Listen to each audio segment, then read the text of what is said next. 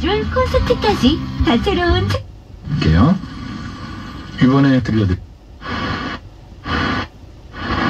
음, How to say